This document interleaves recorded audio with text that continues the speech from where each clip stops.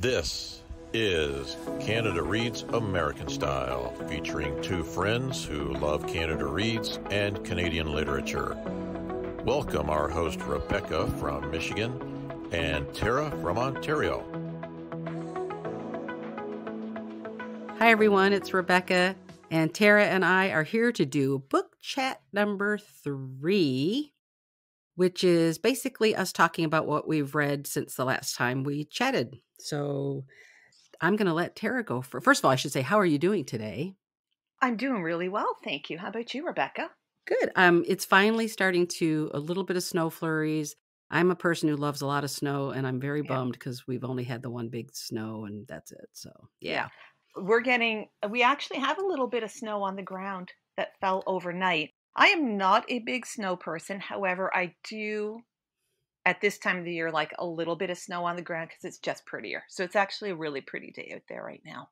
yeah, I like that too because here it's just been really, it's kind of been rainy and ugly as heck. So I definitely need some snow, and and I'm somebody who actually does love to take the old. I have a little snow Joe. I like to snow blow, and I like Mm. to shovel snow. So it's kind of crazy, Oh. but Yeah. No, you're like my father. It's the same way. Love shoveling snow. It was, we'll do a little sidetrack here. So when we were younger, I grew up in Newfoundland and he would shovel snow in a t-shirt because he also always runs really hot. And he would, he loved shoveling snow and he would be out there in a t-shirt, even if it was snowing, shoveling. It was crazy. Okay, your dad and I would totally bond Yeah. because I actually I do wear eh, I mean, I would sometimes like wrap up in, you know, scarves and stuff and then I'm just like, "Oh, I'm sweating." And so then I have to take everything off and just but I'm not in, not in a t-shirt, but wow, that's impressive. Okay. Yeah, yeah. So, Well, impressive. I'm not sure. about that. a little crazy maybe, but it's A all good. cool. okay, okay, back to the books. Yes, go ahead. I'll let you go first and I'm excited to hear what you've read. So, Okay, so the first book I'm going to bring to our chat today is a memoir, and it is one that was on my list for a while. I Know Why the Caged Bird Sings by Maya Angelou. yep. Yep, so this is an older book published in 69. Uh, were you going to say something? I feel like I interrupted you.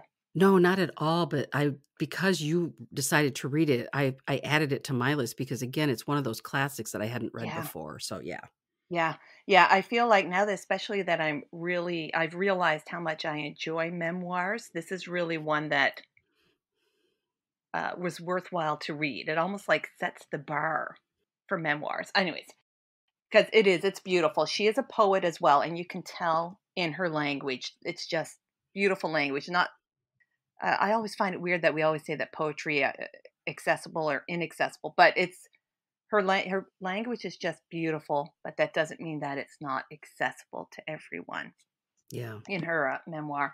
So, like I said, published in 69, and it's only a short window of her life from about the ages of four to six until she's 15 years old. And even when it ends, it ends at like what it has to be. I'm not going to say it. I'm even though the book's what 50 years old. I don't want to spoil it for anyone. Like a key life experience for her and that's where it ends so i'm not obviously i'm going to read the next book her next uh, memoir because i just want to keep knowing her story but yeah it's what struck me most is her language is beautiful but when she's telling the story of her six year old self you hear the voice of a child and you don't question that this language is being used by like her do you know what i mean does that make sense Yeah. like so like her the dialogue she uses isn't all huffity puffity or something just Yeah. threw that off the top of my head but it's it's uh it's just beautiful it's amazing how she can use this language and yet you hear the voice of a child and the thoughts and feelings of a child Wow. Yeah. Now, how many aren't because I think you had said this before to me, but because there, how many sort of memoirs has she written? Or is there more than two? i feel like there's more than two if you Mhm. don't mind i'll do i should have looked this up beforehand Sure. i'm going to do a quick search right now okay. and we will see. Oh, gee, I don't know. There's a lot. Because I Yeah. just I feel like you had said before, and I was surprised because I hate to say she's an author I have not read, and I just didn't know. So I'm really Yeah. excited to kind of go down that path as well. Yeah. Well, when I put it in, it comes up as a book series. Oh, okay. Oh my gosh, I'd say there's like seven Wow. Okay, Yeah, that I did from- not expect. Okay. from 69, 74, 76, 81, 86, 2002, and the last one is 2013. oh my gosh. Yeah. So I wonder, is that primarily what she wrote then? Were memoirs and poetry? Or those are sort of two? Because seriously, I'm so like a dunce about her, and I shouldn't be, but yeah. Oh no, I'm the same way as well. Like I I knew of this book as a memoir, but I think I first knew of her as a poet. And I don't know what else she's read. Like I really or written, I mean. Yeah. Hmm. Yeah. Was there something that prompted you to read her? I just think it's kind of interesting that all of a sudden she sort of popped up for you. Well, it, that book has been on my. I think I can't remember a time. Obviously, I did not know of this book when I was a child, but it Mhm. feels like I've always known of this book and that title. Like you know, it's always Mhm. just kind of been out there in the atmosphere. Yeah. And I was listening to a few months ago on another podcast, and they mentioned it, hmm and I was just like, I have to read that. And so that that's all it took. And I can't remember. Let me look to see the name of the podcast too. It's a newer podcast. It's an Anne of Green Gables podcast, actually. Oh. yes. And it is hosted by two women, Americans. Oh, and it's called Eat Like a Heroine. They've only got a few episodes out, but Okay, I'm writing that down because they they talk about Anne of Green Gables. Yes, and and um, well, any of their heroines from uh, like childhood heroines. So Anne of Green Gables is a big Oh. one.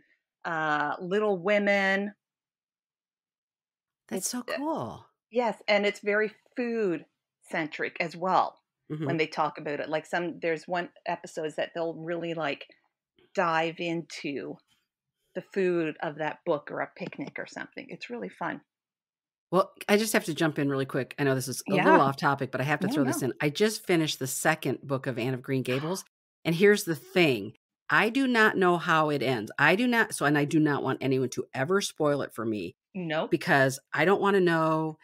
I mean, does she marry Gilbert? I don't know what happens. I don't want to know because I want it to be completely fresh, 100%. So when I get through the whole series, but I just finished the second book. And when you said that about the food, yeah, there's something just so beautiful when they talk about when they lay a table and there's all these, and they, she mentions all the different kinds of foods. And, and I, and I just sort of picture that she's, she's so evocative in her language in terms of describing, you know, the, the fine details of their lives.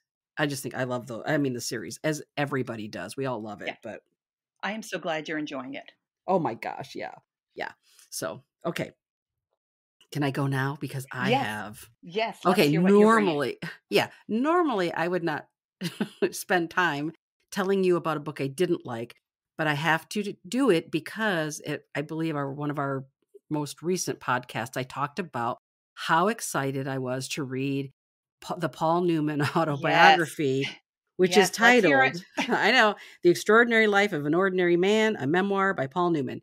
And as I said really briefly, he, uh, a friend of his, the two of them sat down they did these recordings of his life and then they talked to their his friends and colleagues et cetera and said here you know tell tell stories about me but be a hundred percent honest blah blah blah.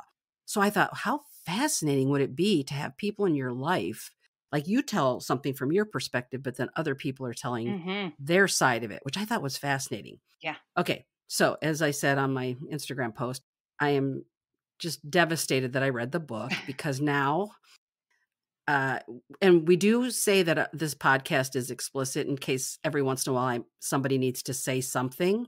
So, I'm going to say that Paul Newman was a dick. I'm sorry. I apologize for the Oh, language, no. but I've always loved Paul Newman, and now I'm just like, ugh, Paul Newman. Okay, so here's here are the top three reasons why Okay. I did not I like feel the like he hit it well. I'll be honest. He doesn't come across. Yeah. I think he really did because people I think people really loved him, and I think he was able to trade on his gorgeous looks because let's face it, the the man Yeah. was his those blue eyes man. and the whole thing, Yeah. So, here are the 3 reasons. Okay. 1, interestingly, he was very, very critical of his mother, who he said when he was growing up constantly validated him for his looks. So he grew up knowing he was good looking because his mother, like, sort of like in a kind of unnaturally creepy way, was Mm. constantly reinforcing him for his good looks. Well, he was very hard on his mother and he was very, very critical of her. And yet his father, who was a secret alcoholic and who treated him poorly as well, he actually gave his dad a pass. So I'm Hmm. reading it going like, dude, you're telling me all these bad things about your dad and these bad things about your mom, but then you are mean to your mom in your words and your dad. At one point, he even says something like, Well, I know if my dad had seen my success, he would have been there in my corner and he would have been supporting and blah, blah, blah. And I'm thinking, dude, what dad are you talking about? Because that is Yeah. not the dad you described. So I that irritated me because I feel like in many cases, mothers get a very bad rap and dads get a so too. pass, right? Yep. Okay, that's number Yep. one. Number two, even though supposedly he was going to be very candid in this book, he absolutely glossed over the accidental death of his son to drugs and alcohol. So to me, I, and I thought, okay, well, I can see maybe it was just too painful to talk about. Mhm. However, he then was in a competitive relationship with his son that was ridiculous. And I believe, you know, of course, you can't know because, you know, I don't know these people, but Yeah. I felt so bad for his son and what he lived in the shadow of his dad, not because his dad was this famous actor, but because his dad was competitive with him in a way that he should not have been. And there was this example where they were driving a car and anyway, I I won't go into the whole details. They they had been drinking, I think. Anyway, they they rolled the car, they had this accident. And then his dad gave him like for Christmas the next year a replica of the car all mangled and laughed and Oh. thought that was really funny. Oh. And I thought, what is what what? Like that's not funny, dude. You guys Yeah. could I keep saying dude. Why am I saying that? I've never said dude before. Anyway, I think So- you're hanging it with me too much. maybe I don't know. But anyway, so it really bothered me. And then someone else told this. The, uh, they think it was an aunt told the same story about seeing that gift of that mangled car because it, technically it was her car to begin with.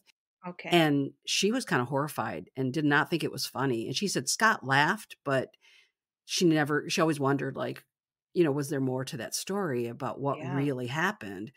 And he even said, told a friend of his, got told a friend of his that his dad pushed him to drive really faster and faster and faster, and they they missed a curve and rolled the car, and both of them could have died. Anyway, wow. I I just thought, God, what a father. Anyway, whatever. That was number two. And then the last one is this really irritated me because I did not know this because I don't I don't really read celebrity bios all that often.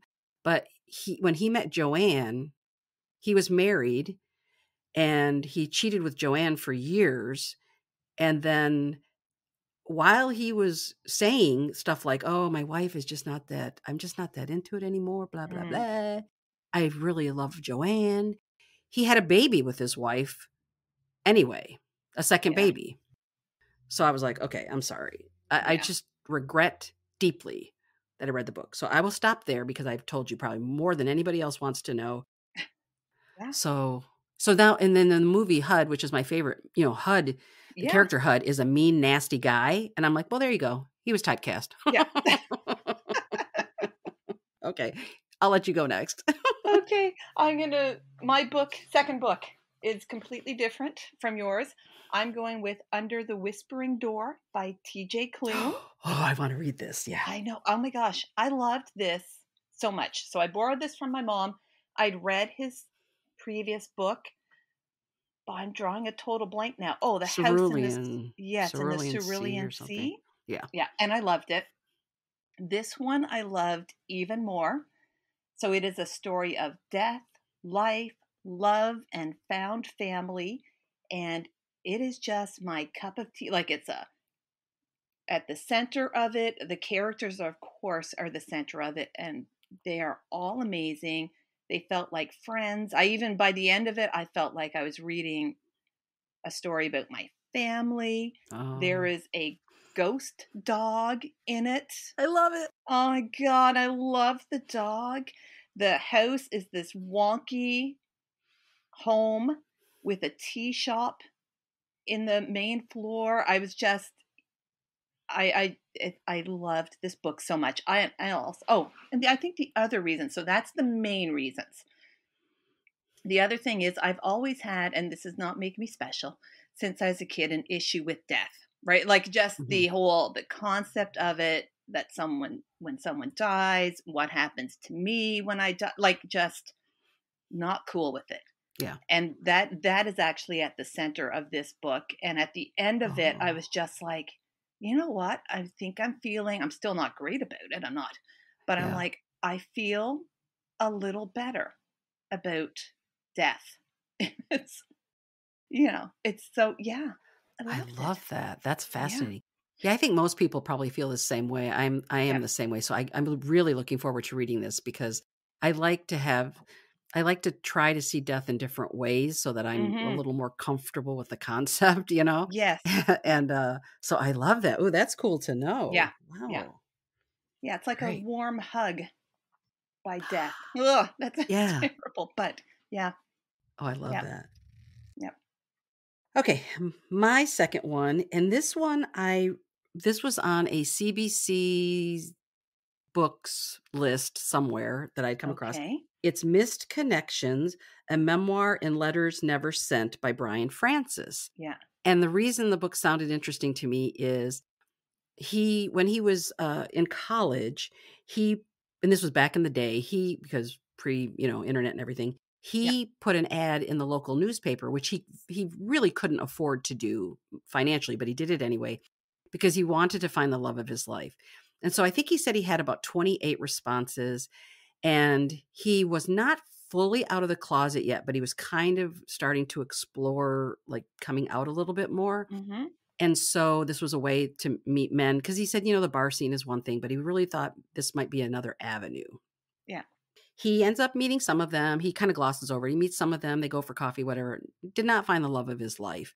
But there were 13 letters that he never responded to. So in his 50s, early 50s, he responds to the letters. Now, he doesn't literally respond to the letters because some of these people, because some of them are older, they they might be dead now, right? but but he writes a eh, like each letter, he publishes each letter at the beginning of a chapter, and then he he ties into the letter into his life experience at that time and it really is like he's telling a personal side of himself to the letter to the letter writer but you get to learn all about his life from the time he was young until he was in college and even a little bit about his life now Hmm. and i thought it was masterful Yeah. it was i just wanted there to be more letters i want to hang out with him i want to know him more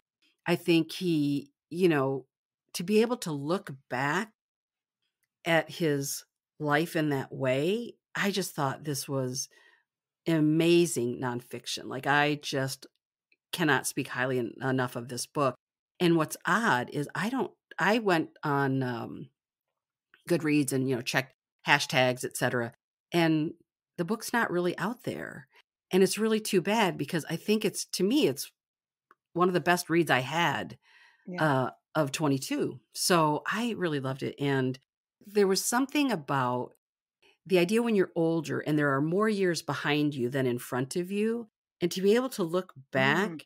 and have that to just articulate just that growth that he was going through and especially because he was trying to come out and he eventually does while he's in college because he's living with a bunch of straight guys in a in a house while he's in college and he's afraid to even tell them eventually that he is gay because he thinks that he's going to lose them as friends and that's all Yeah. I'll say but it's just I, I highly recommend so if you like nonfiction memoirs, please pick this book up. You, I guarantee you, you will love it. I, I can't imagine someone reading it and not enjoying it as much as I did. So, yeah. What year was this published? Do you know? It was, I think, last year. Yeah, it was on Oh, a list. Yeah, it was on a list, I think, for 22. And Yeah. and that's why it's weird because it was on a CBC list, which is where I came across the Yeah. book, but no one's talking about it. And I'm like, please. Uh, yeah, I anyway. hadn't heard of it till you mentioned it. Yeah. It's now on my TBR. I'll be reading it because it sounds fascinating. But Yeah.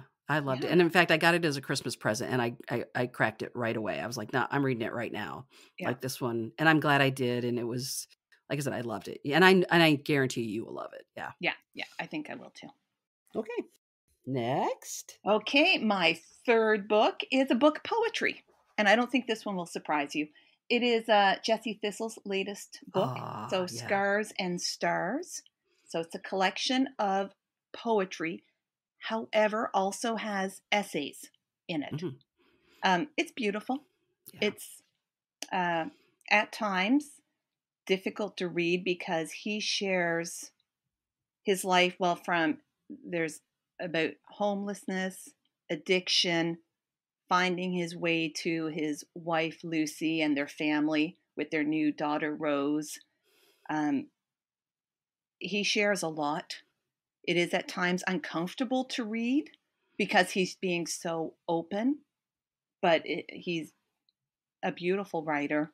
yeah. Um, the essays at times were all, it was almost heartbreaking with what he shared.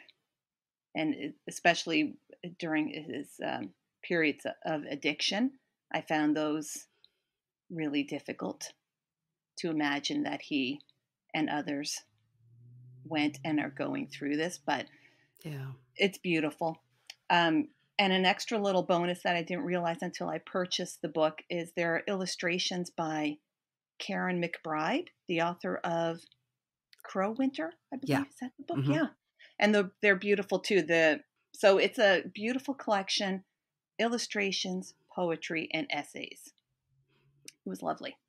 Well, that's good to know because Yeah. I did purchase the book, but I uh, have not read it yet. And I didn't realize it had essays in it. I just assumed Yeah. it was all poetry. So that's Yeah. good to know. Yeah. At the beginning of each section, there's like a, an essay that kind of opens up the section. So it, it brings a little more, I don't want to say depth to the poems, but you get more detail hmm as an introduction to the poems of that section before you get really get into the poetry. So Wow. yeah. Well, that one, obviously, I own that one. It's on my TBR. So Yeah. I will be reading it, uh, I assume, in the next month or two, I think. I think you'll enjoy it. Yeah. Oh, I definitely think so. Yeah. So, okay, my last one is, and I just realized that all three of my books are uh, nonfiction, which is, I guess, not a Oh. big surprise. No. but anyway, uh, it's Ice Walker, A Polar Bear's Mm. Journey Through the Fragile Arctic by James Raffan.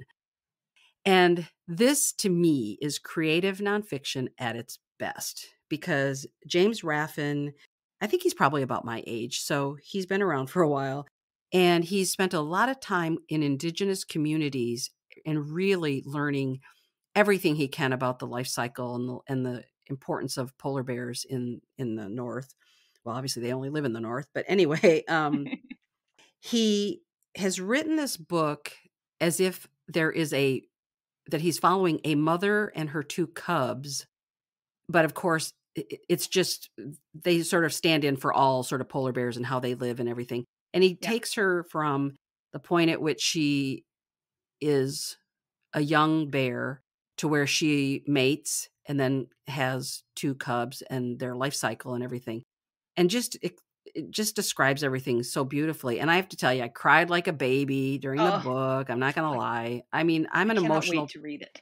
yeah i'm an emotional person anyway but uh, especially with animals i can't handle it because i just feel they're so vulnerable they you know we own all their space practically and hmm it's just so difficult but anyway it's absolutely beautiful it's and it's a tiny it's actually kind of a short book i think you can kind of read it in one sitting to be honest but it kind of will fit the size of your hand it's a kind of a small book Oh, in terms of the physical size of it and i do i think it's maybe it's like 100 i, I i'm just really spitballing here but maybe Yeah.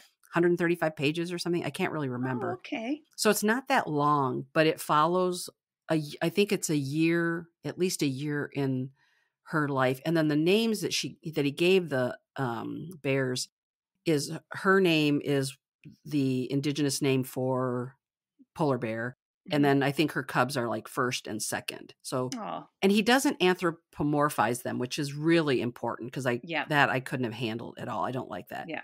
So highly recommend, you know, especially too if you have I would say young readers, it, it's something you could read together or something they could read on their own, but I highly recommend it. I just think it's like I said, great creative nonfiction. Mm, yeah. I'm looking forward to that one. Wow, we read some great stuff in the past. Did, we did. I know. I almost I want to talk, tell you about what I'm reading now, but I'm not. I'm going to save that for book chat number four. Yeah, same here because what Yeah. I'm reading right now, I told you, holy baloney. Yeah. Amazing. So, okay.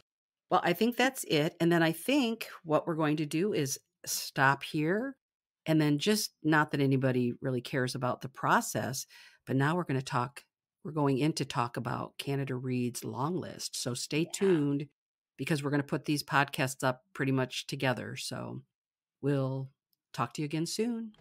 Happy reading. Thank you for joining us on our bookish journey. If you enjoyed this episode, please consider subscribing, rating, and reviewing Canada Reads American Style wherever you listen. You can connect with the podcast and Rebecca on Instagram at Canada Reads American Style and with Tara at On a Branch Reads. Until next time, keep reading.